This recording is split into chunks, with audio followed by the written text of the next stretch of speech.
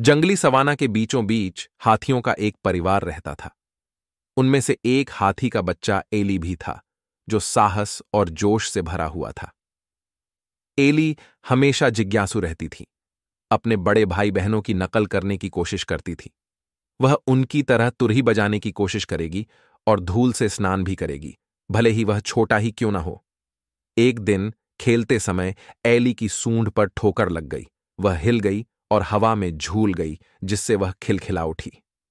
Eli के साहसिक कार्य हमेशा सहज नहीं थे। वह लताओं में उलझ गई थी और एक बार उसने गलती से दीमकों के टीले को पहाड़ी समझ लिया था, जिस पर वह चढ़ सकती है। एक गर्म दोपहर में एली को एक पानी का गड्ढा मिला। उसने खनुशी से पानी छिड़का और पानी छिड़का, जिससे एक शानदार गंदगी पैदा हो गई, जिसने उसके परिवार को टांके में डाल दिया। जैसे जैसे एली बड़ी हुई, वह खुद को साबित करने के लिए दृढ़ हो गई। उसने अपनी ताकत दिखाने के लिए दृढ़ संकल्प के साथ लकड़ियाँ उठाने का अभ्यास किया। एक दिन एली ने युवा जानवरों की एक भव्य परेड का आयोजन किया। उसने अपने सिर पर फूलों का मुकुट रखकर हँसी और खुशी फैलाते हुए रास्ता दिखाया।